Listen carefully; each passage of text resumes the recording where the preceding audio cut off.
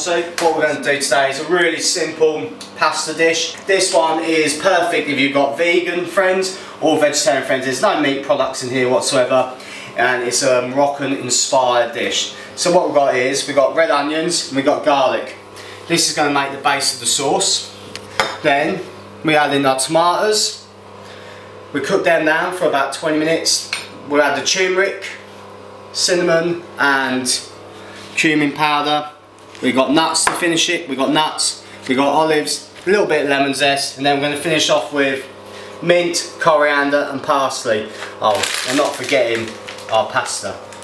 So what we're going to do is we're going to crack on with um, making the sauce for the pasta right now. Right, we got some olive oil. We're going to need about 100 mils for this. I ain't got a measuring jug on me, so I'm going to judge it by eye. Here we are, into a nice warm pan.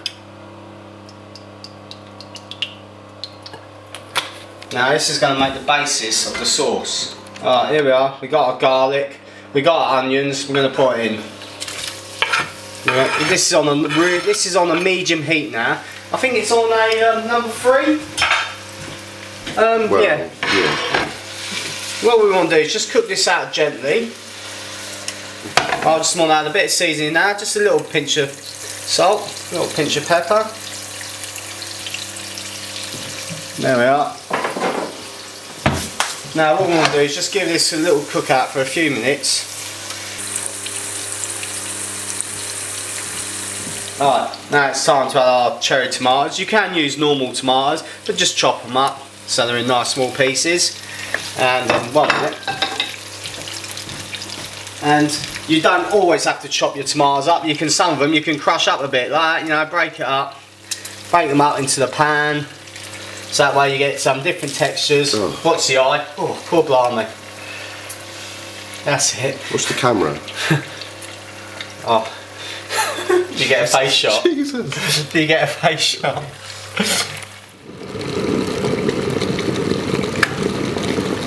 Alright, here we are. We've got um, pan on. It's on a about number four.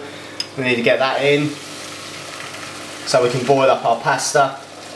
Season up the water as standard. A little bit of olive oil to stop the pasta from sticking.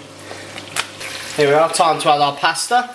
This should take about uh, about eight to ten minutes to cook. Now we've got our turmeric, our cumin, and about half a teaspoon of cinnamon. Time to add this in. Now we've got nuts. Again, we can toast them if you want to, but this dish, I don't want to toast nuts this time. I want to put them in and let the natural, let them cook out in the oil. Because we've still got another, about 10 minutes of cooking here. Here we are, we got our parsley, we got our mint, and we got our coriander. A little bit too early to add it to the dish at the moment, but it doesn't help, it wouldn't hurt to just get a little bit prepped. So let's just give it a nice little rough chop. Like that. Coriander. Now, if you don't like coriander, because some people don't, try it with basil, because the other week I done this dish, and I did it with basil rather than coriander, and it worked just as good. Pasta's cooked now, need to drain that off. It's time to add our mixed herbs now, we've got parsley, mint and coriander. Get that in with the olives, job done. Add the pasta. What we'll do now is just give this a good mix around, get all that sauce mixed in.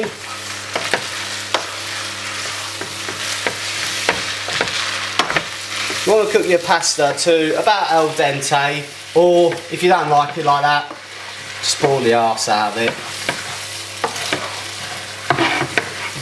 You got any more olive oil? Extra virgin olive oil? Um, yeah, just near them, just over there.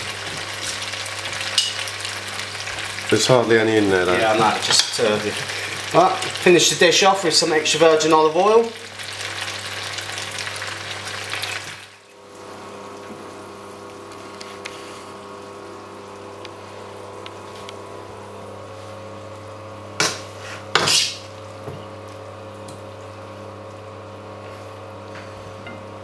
There we are.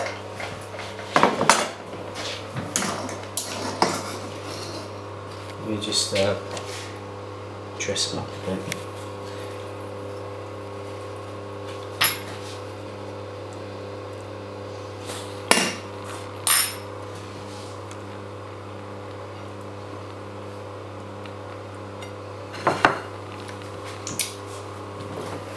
Here we are. We've got our Moroccan inspired pasta dish. Um, brilliant for vegans and vegetarians. um pé calça aí.